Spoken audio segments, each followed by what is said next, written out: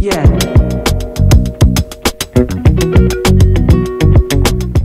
A cough that just doesn't go away and gradually may lead to death. Shocking, right? That is H3N2 influenza for you.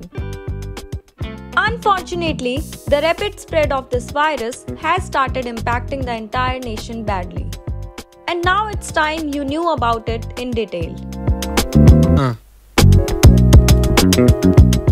H3N2 is a subtype of influenza A or seasonal virus that affects the respiratory system.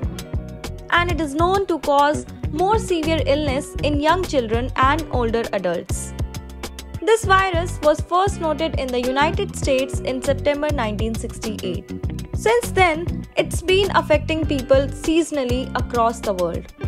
A study has found that high pollution levels are causing people to develop more respiratory infections that are making their lung health prone to viral attacks. This is the reason we are seeing a surge in the number of flu cases. Influenza and COVID seem similar as both of them are contagious viral illnesses, which can cause a range of symptoms, from nothing at all to mild cough and cold to severe illness affecting the lower respiratory tract. Signs and symptoms of the severe disease caused by H3N2 influenza may vary from person to person. Fever, cough, sore throat, nausea, and headache are some of the common signs found in the infected people. But symptoms like shortness of breath, persistent vomiting, frequent dehydration, low blood pressure, low oxygen levels in the blood, high fever, and convulsions can be severe if not acknowledged on time.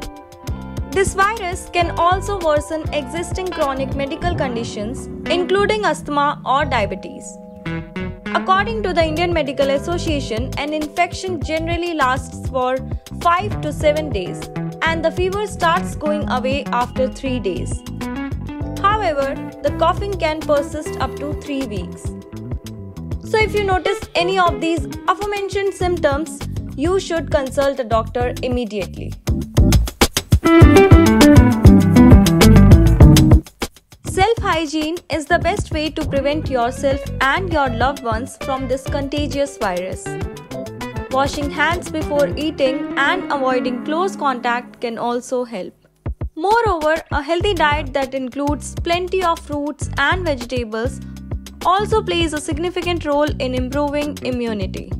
It is advisable to drink a lot of fluids and eat home cooked and low fat food for better health.